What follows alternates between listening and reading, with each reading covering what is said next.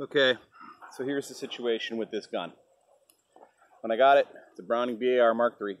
When I got it from the, uh, it just, it didn't quite cycle right. And oh, I found it very frustrating. They shoot handle it. So I went out and bought a bunch of different ammunitions.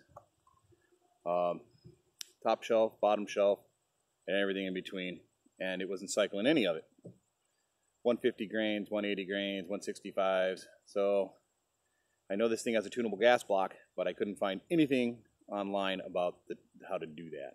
And um, so ultimately, through trial and error, I have figured out a solution to that problem.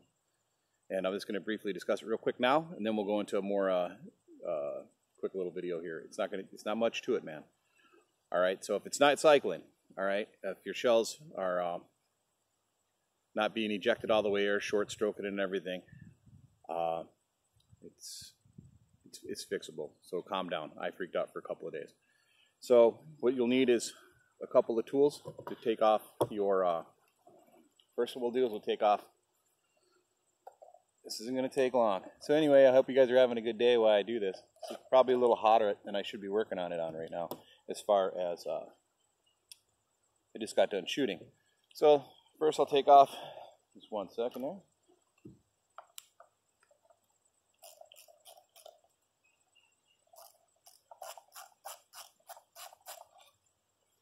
That screw out. Take your little, take off the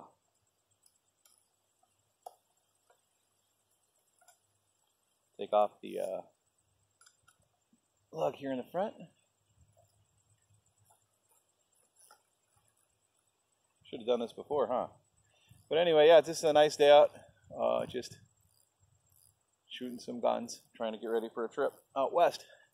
And this uh, Hell's Canyon BAR Mark III has been a really comfortable gun. I installed a, an aftermarket cheek rest by Tech or some shit. I don't know, they're out of fucking Sweden. Uh, good stuff though, works really well. All right, so back to it, here we go. All right, so once you get to this point, and you remove your forearm, I'm going to shift around here so you can see this. So this right here, this screw here, is your adjustable gas block port. So if you screw this all the way in and then back it out two turns, that's going to be at about 50%. When I did that, this, this rifle uh, cycled enough to, to pull the action back but not eject the round. So then I went ahead and backed it off another full turn and at three full turns backed off on here um, from being bottomed out and then bounding, you know, three, tighten it all the way in and then back it out the three turns and it ejected everything I did. Now on the other side of here is this set screw right here for that. So you need to loosen this side up first. Adjust your the screw on the other side here that we just talked about, this guy here. And then tighten that screw here back up. And when I did that and started tuning that slowly on and off, I got all my uh, hand ammos, my hand loads, everything that goes through here now cycles perfectly. It just took a little fine tune. And I know this from working on a lot of ARs that sometimes they can be finicky bitches when they first start up and just getting the ports tuned and, and getting the gas block tuned. Nice thing to have about this because if you want to, if you ever wanted to say run it in a suppressed configuration, you know now that you can also tune your gas block. This is the first generation of the BARs that has a tunable gas block and I'm absolutely impressed with how quickly I was frustrated with it to how quickly I'm not frustrated with it. And it's a Browning, so that's the way it should be.